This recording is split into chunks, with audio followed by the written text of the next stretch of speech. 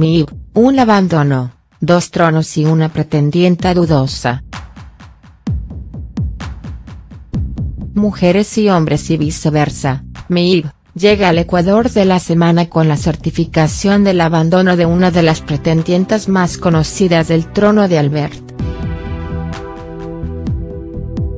Se trata de Rocío Zafra, quien tras unos días dudosa este miércoles tendrá que tomar una determinación sobre si se queda o si abandona el programa.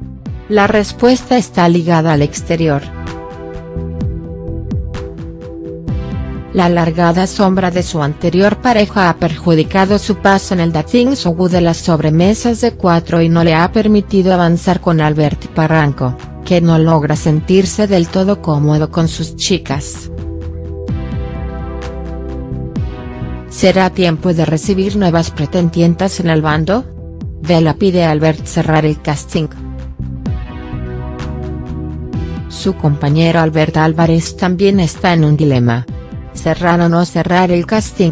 Una de sus chicas, Vela, tiene dudas sobre el tronista y le pedirá que deje de recibir más pretendientes en su trono. El problema es que el deportista ya ha avisado en más de una ocasión que no va a ceder ante este tipo de peticiones. En este contexto arranca un nuevo día en el programa del amor presentado por Emma García. Los dos tronos de chicos continúan su curso pero cada día con más sentimientos y opiniones contrariadas. ¿Necesitan aire nuevo? ¿Acaso las pretendientes que tienen no terminan de gustarles? ¿Tomarán alguna determinación adicional?.